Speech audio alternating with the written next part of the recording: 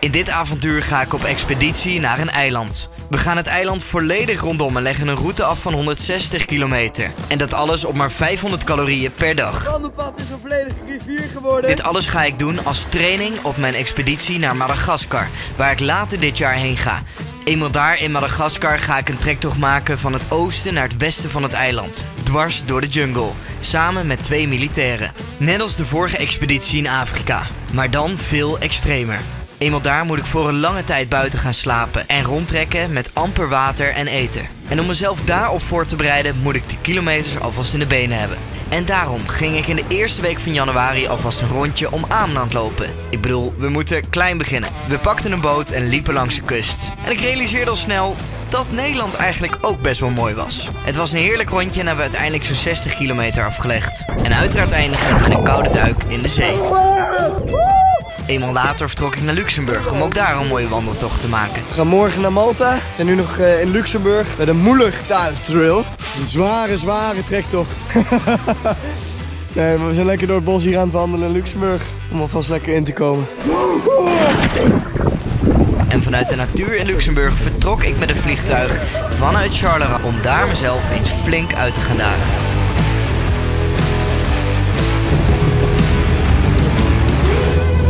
Boven het eiland Malta. En nu zien we eigenlijk pas hoe groot het eiland is en eh, hoe pittig het gaat worden om hem helemaal rondom te lopen. Wil je nou dat ik vaker extreme sportieve uitdagingen ga doen? Laat dan een duimpje achter op deze video. Als we de 7.500 likes bereiken, ga ik zo snel mogelijk aan de slag met een nieuwe. Het zal ongeveer een weekje duren. Maar ja, het is altijd eh, terrein en weer afhankelijk. Wat is het eh, doel van deze reis? Als het goed is, dan eh, ga je lekker mee naar Madagaskar en dan gaan we naar Vlammen. Beetje een training en een eh, meetmoment. Om te kijken of alles lijpt en goed gaat. En heb je nou zelf een idee voor iets grensverleggends, een vette challenge? Laat het dan weten onderin in de reacties. Malta is natuurlijk een relatief eh, westers ontwikkeld land. Dus qua veiligheid is het hier wat beter. Madagaskar is het wel alleen maar jungle en bush. Hier kun je misschien nog geen appartement slapen of in een hotel. En in Madagaskar slapen we altijd in een tent of gewoon buiten. Dus allebei heeft wat. Maar het is een goede training om even te kijken naar je benen, naar je uitrusting, of je schuurplekken krijgt, eh, wat je doet met slecht weer, dat soort dingen. Zo, we zijn begonnen met de wandeling. We gaan vandaag 17 kilometer lopen naar Valletta, de hoofdstad. Het zal vandaag vooral in de stad wandelen zijn en vanaf morgen gaan we meer de natuur in bij de kliffen. Hebben we er zin in, mannen? Heerlijk, zeker. Echt, wat top. Kijk, dit is voorbereiding. Lekker daar met die handdoek. Je ziet eruit als een ezel. We begonnen met de eerste kilometers. Vandaag staat er 20 kilometer op de planning. Dus dat valt op zich nog wel mee. Het enige ding is dat er wel nog veel hoogtemeters in deze 20 kilometer zitten. Kijk eens, de zee is in beeld. We zijn op dit moment een eh, klein, nou, klein bergje, grote heuvel aan het beklimmen. Lekker richting de zon. Ja, dit is lekker. Kijk eens, wat een uitzicht. Kijk, gezellig kippetjes. Lekker eten voor vanavond. Maar naast dat beetje natuur liepen we vandaag op deze eerste dag vooral in de stad. Langs drukke M-wegen en dus vooral heel veel asfalt en autogassen. Maar goed, ook deze kilometers moeten gemaakt worden, willen we het later in de week mooi krijgen. Dat is helemaal niet lek. Kijk, lekker blauw. Hij is leeg. Je moet alleen weer de huid afknippen. Want hij heeft er last van de huid, dat hij eh, scheurt. Knippen de huid eraf. En dan moet hij eh, met zijn voet buiten de laken slapen. En dan wordt het droog.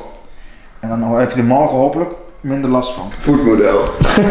En je hebt eh, in de bad gezeten? Ja, een kwartiertje in koud water. Voeten in het water doet eigenlijk meteen naar het lopen, want je voeten zetten uit, dat ze warm zijn. In koud water.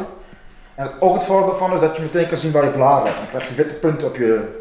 Je kan zien waar het vocht zit. Goedemorgen, dag nummer 2 is begonnen. Vanaf vandaag gaan we ook beginnen met het eetritme zoals we die in Madagaskar ook gaan doen. Emiel, Emiel, Emiel. Ja, nou, het eten, eh, in Madagaskar hebben we twee keer daags eten. We hebben alleen zakjes mee. We moeten alles stillen. Dus het idee is om twee keer daags te gaan eten. We moeten nou wel uitvogelen wat het beste is. We hebben gisteren ongeveer al 5000 calorieën verbrand. De schatting is dat we vandaag richting de 7000 calorieën gaan die we gaan verbranden. En in zo'n zakje zit maar 800 calorieën. In Madagaskar hebben we daar er twee van op een dag. Meer eten hebben we niet. Dat betekent dat je de 1600 inneemt. 7000 verbruikt. Dus dat gaat je wel kapot maken. En vandaag gaan we daarom alvast wennen aan het feit dat we niks eten, smiddags 800 calorieën eten en doorlopen. Industriestukken. Gelukkig is het even rustig met de auto's. Het is drama hier. Geen stoep, alleen maar asfalt. Over de snelweg wandelen.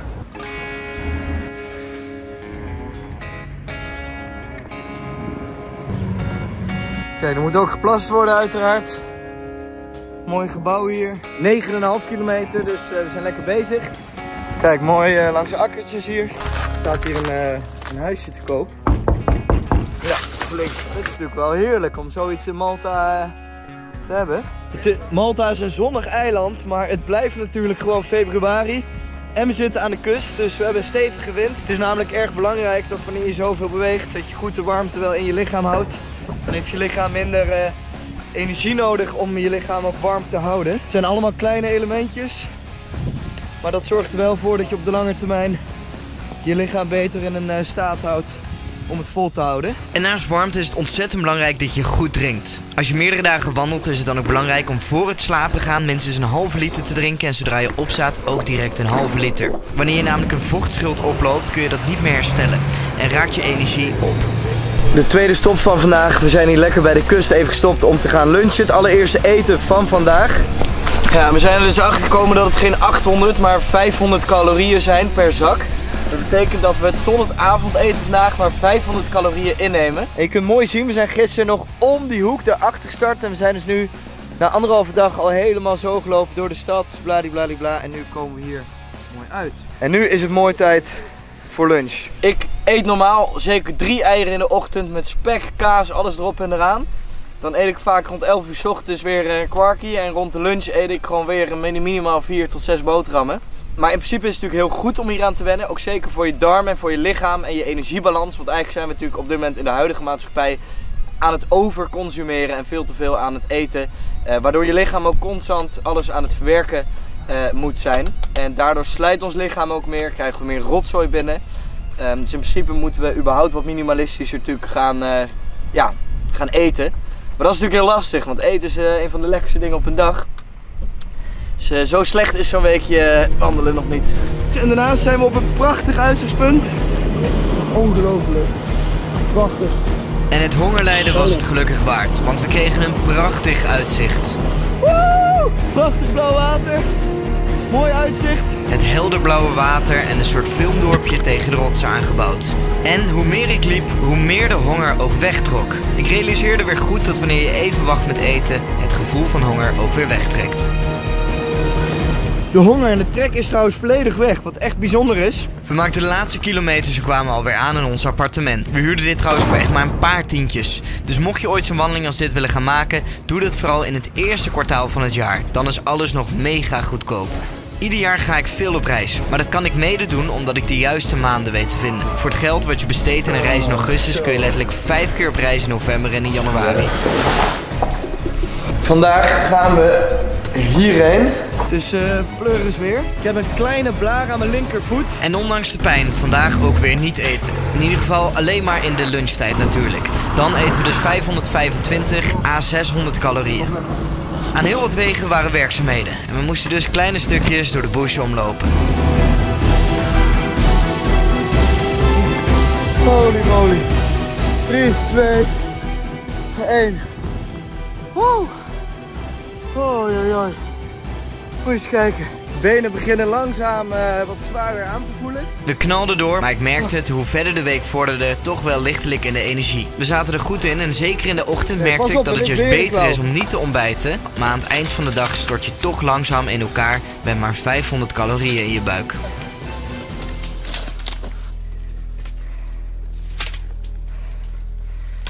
Ja, lekker bezig.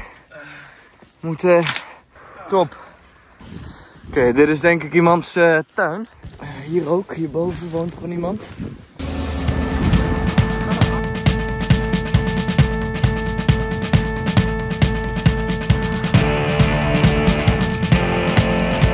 Lekker de voetjes omhoog.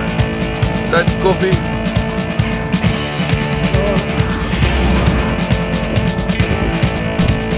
Kijk, dit zijn mooie paden. Begint het al op Madagaskar te lijken. En dan denk je, we zijn boven. Hebben we het gehad? Nee, nee. Niks niet. Gewoon nog meters verder omhoog klimmen.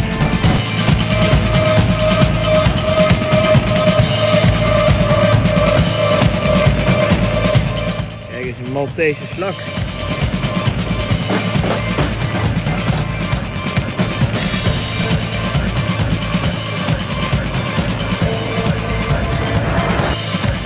Links, rechts, links, rechts, links, rechts, links. Mooi dakterrasje om eh, te lunchen. Oh, oh, mijn spieren keer. Oh, oh. Normaal, ik voel me borstspier, mijn schouderspier van de tas. Joris knalt hem lekker door. Bam, bam, bam, bam, bam. De spierpijn begon te komen en daarom besloot ik ook lekker in het koude water te springen.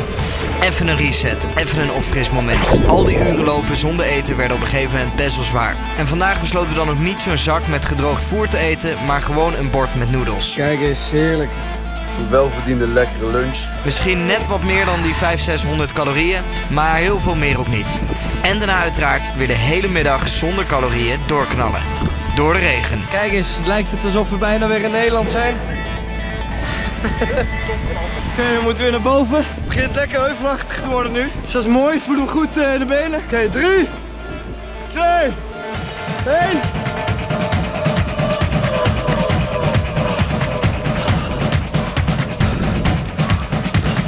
We besloten te gaan speedmarsen. Rennen en daarna heel hard wandelen. En weer rennen en heel hard wandelen. En dat lang vol proberen te houden. Los van de spierpijn en honger begon ik het namelijk ook redelijk koud te krijgen. Alles was namelijk volledig doorweekt. Daar komen we vandaan en nu zijn we op het meest linker gedeelte van het eiland. We zijn op de punt. Laatste dag, vandaag gaan we de allerlaatste kilometers doen. We moeten vandaag bijna de meeste kilometers eh, lopen. En om de laatste dag nog wat pittiger te maken besloten we deze dag helemaal niets te eten. Niet eens die 500 calorieën. Gewoon helemaal niks. We moesten ongeveer 35 kilometer in totaal. Het plant nog harder dan de dagen hiervoor. De laatste knokdag is begonnen. Dus we gaan hem helemaal aflopen.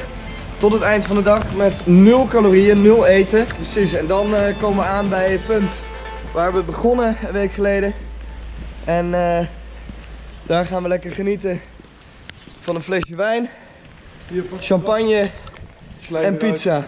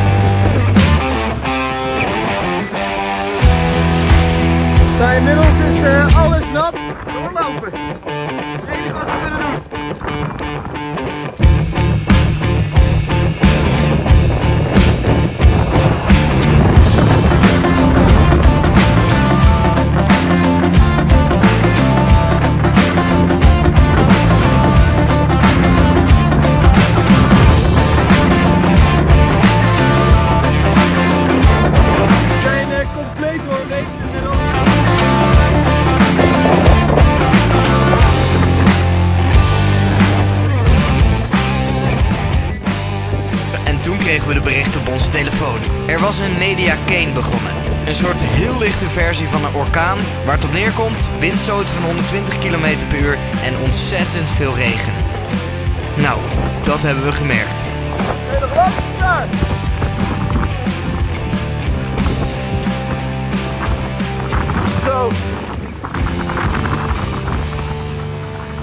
Oké, we zijn even aan het schuilen. Het begint koud te worden. We hebben nog steeds niet gegeten. We hebben er op dit moment 3, 24 kilometer op zitten. We moeten nog een kleine 10 kilometer en dan zijn we bij het doel. Wat de fuck is dit?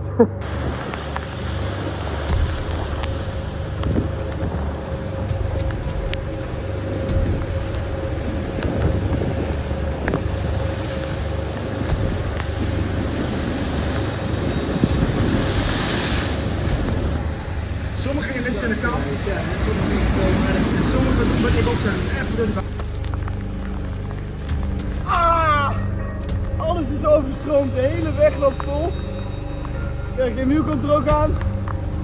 Het is echt noodweer gewoon.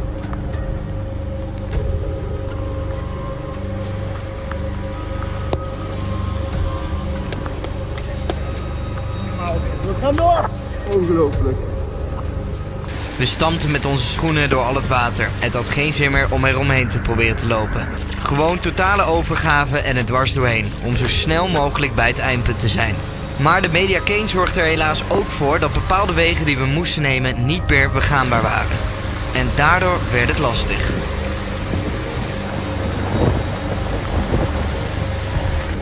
Oké, de weg is geblokkeerd. Van de pad is een volledige rivier geworden. Moet je maar kijken, we moeten daar doorheen. Maar dat gaat niet meer lukken. Dus we gaan eens even kijken hoe we dit gaan aanpakken. Probeerde met mijn voet te testen hoe diep het water was, om te kijken of we hier overheen konden gaan. Maar helaas, nee. Ik raakte de bodem niet, maar werd wel meegesleurd. Omlopen dus, en op zoek naar een andere manier om door te komen.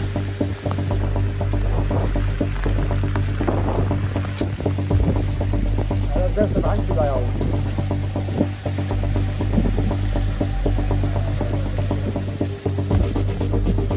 Weet je zeker waar daarheen moet?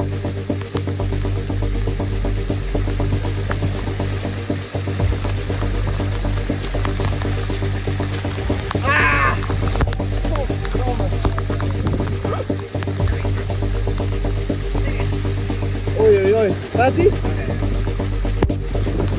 We kunnen alleen maar aan eten denken. Oh, kip, eh, lekkere burger, friet, noedels, kapsalon. Oh, alles gaat erin. Kapsalon Dennis. Oh, ik kan er niks anders meer denken. Oh. En na de laatste dag wandelen kwamen we dan eindelijk weer binnen in het hotel. Alles was doorweekt en we konden eindelijk gaan eten. De dag erna huurden we motor, de dag erna huurden we motor om lekker rond te toeren en zetten we een tattoo van een schoen. Om iedere dag naar onze voeten te kijken en eraan te herinneren dat we iedere dag moeten lopen en in beweging blijven. Wat hebben we van de 500 calorieën per dag nou gemerkt? In de ochtend en beginmiddag, tot een uurtje of twee, drie uur middags geeft het juist meer energie dan dat je wel zou hebben gegeten. Maar aan het eind van de dag begin je toch echt flink in te kakken. Want dan mis je gewoon echt de nodige voedingsstoffen. Thanks voor het kijken en tot het volgende avontuur.